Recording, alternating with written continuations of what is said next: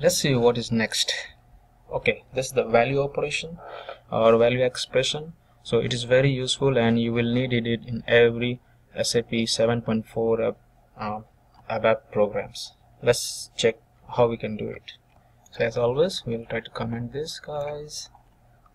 And then we'll write value operations okay? That's the number 17 for us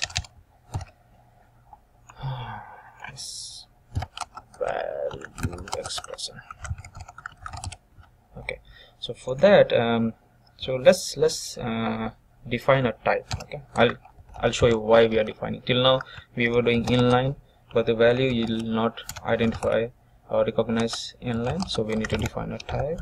So let's define a type begin of ty end of and end of ty and let's give some random field names i'll say ebeln type ebeln that is the PO number. I'll give a lifnr type lifnr that's the vendor. And then we say um, any identifier. So i want to give some hard coding so i'll say risk type flag okay? All right and then what we'll do? We'll define an internal table.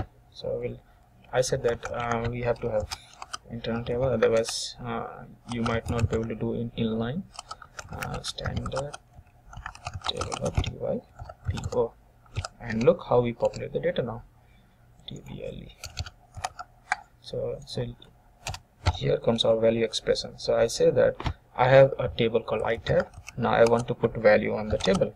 So value and then i'll put a hash. It is important. I'll also say uh, show you why hash is important. And then i'll give a full stop.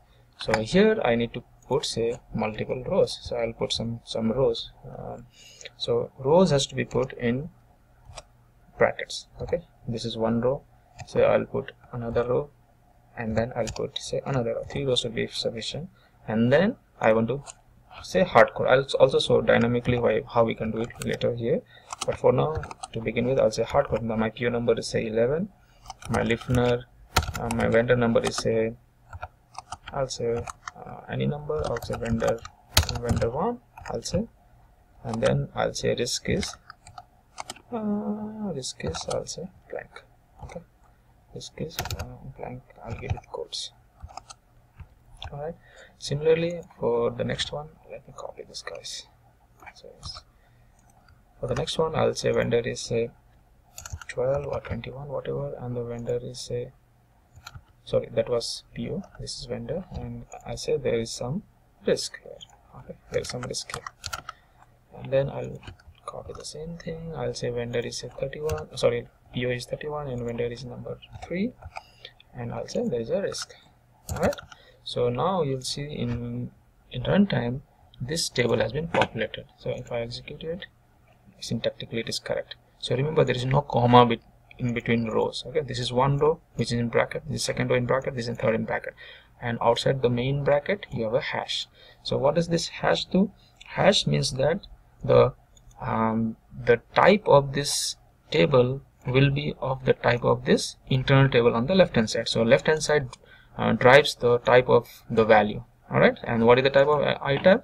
This is the type which we have already defined. So that's the uh, um, importance of hash so now I want to show I want you want to test whether it was really populated or not. So we'll just use a simple uh, um, class to show the display okay? There is there is a static uh, method.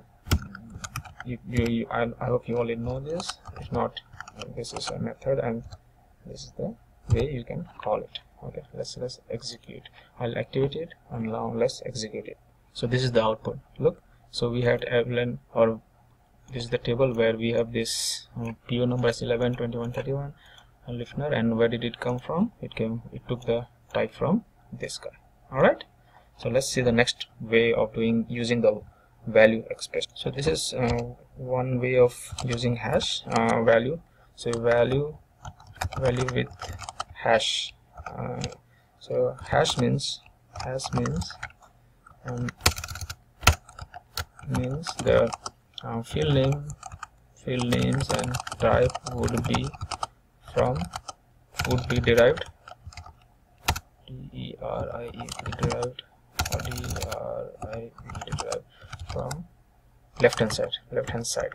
That means uh, i tab table will be the structure of the rows in value hash.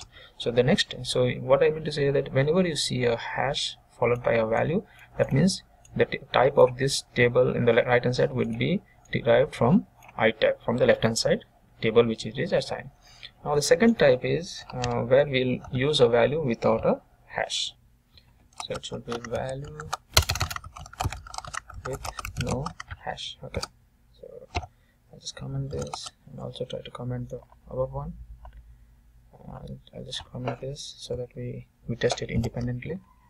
So what does uh, how does the syntax look like? So for that say I want to say I want to have a data at runtime table runtime table but I, I don't know what is the value uh, what will be the structure.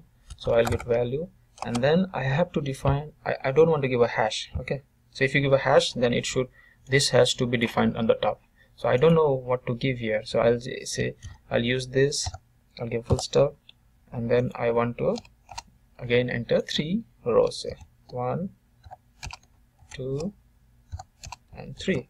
But what will the uh, structure of this table will be? So if you put here say ebeln equals to so I'll, I'll copy all this thing. Okay this this okay I want to copy this.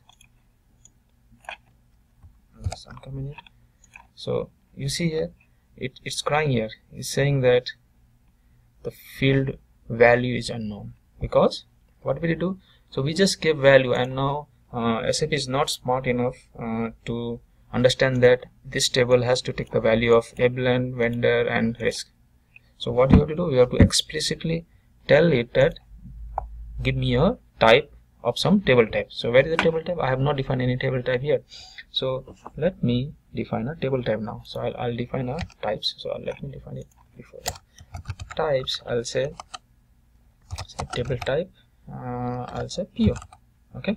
Uh, type table of or you can say standard table of or type table of TPO and one important thing which you have to do uh, over here is if I say this one say I'll, I'll, give a table type and I'll say value I'll say TTPO it will still cry. Still cry. What is saying our value of generic table type cannot be constructed. It knows that this table type is okay but it cannot be constructed because it is generic one. So what is it expecting? It is expecting here so this I learned after some error hit and try. So no one taught me so when I writing the code so I got an error. I tried to google it and then finally I found that it is with header sorry with default key. So this is the keyword so look here. Once you do the diff with default key still crying here? Let me save this. Okay let's check what is the error. Okay I, I did a blunder here. So I should define this in the table type right? Not in the data. I should have defined it here. I was trying to do here see? The moment we put it def with default key this error is gone. Let me activate it. And the output will be same. So what is happening here? If if you give a table type then um, it means say I'll write this. Value without without hash or without hash or pound means the structure. Stc st or you see your structure would be derived from right hand side. Right hand side table type. So here in this case it is ttto all right so hope this is clear. First when we had a hash it meant that the type of this structure will be of i type.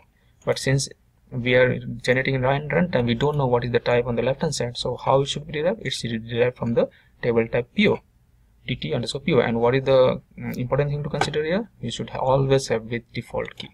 All right let's try to activate and test it. So let me let me try to show it in the output. And now let's test it. Okay i'm only getting the structure. So what mistake did i do? Let's check that. Across this. Okay okay okay. That's the problem with copy paste right? I took care i tab so it should be what run table. So if you want to see the run table output you can see this and now let's test it. So look here we get the same output. So same output.